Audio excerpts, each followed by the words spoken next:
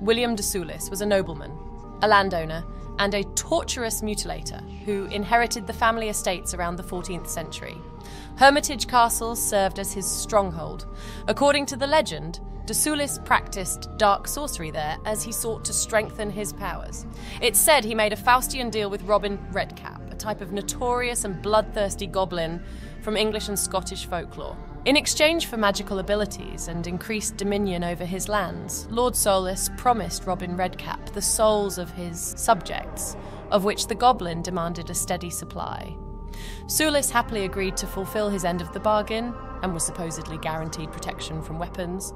Records say Soulis died incarcerated at Dumbarton Castle, but the legend insists he was captured by the populace he once terrorised, wrapped in lead, and boiled alive inside the stone circle at Ninestane Rig.